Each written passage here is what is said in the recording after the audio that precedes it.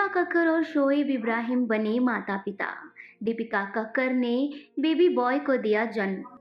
Television के one of the most popular couple यानी कि दीपिका कक्कर और शोएब इब्राहिम पेरेंट्स बन गए हैं। जैसा कि आप सभी जानते हैं कि काफ़ी मुश्किलों के बाद और मिस कैरेज झेलने के बाद फाइनली दीपिका कक्कर प्रेग्नेंट हुई थी। ऐसे में बीते दिन शोएब इब्राहिम का जन्मदिन था। दीपिका ने शोएब इब्राहिम का जन्मदिन बहुत ही धूमधाम से अपने परिवार के साथ मिलकर मनाया। ऐसे में आज सुबह दीपिका कक्कर और शोएब इब्राहिम को एक बहुत ही बेहतरीन तोहफा मिला है। दीपिका कक्कर ने बेबी बॉय को जन्म दिया है।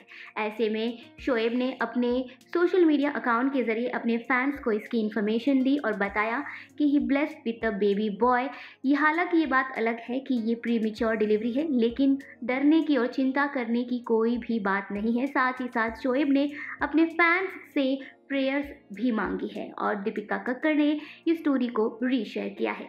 दीपिका कक्कर के बेबी बॉय की डिलीवरी को लेकर आप क्या कुछ कहना चाहते हैं, हमें अपनी राय कमेंट सेक्शन में ज़रूर बताएँ और चैनल को सब्सक्राइब करना ना भूलें।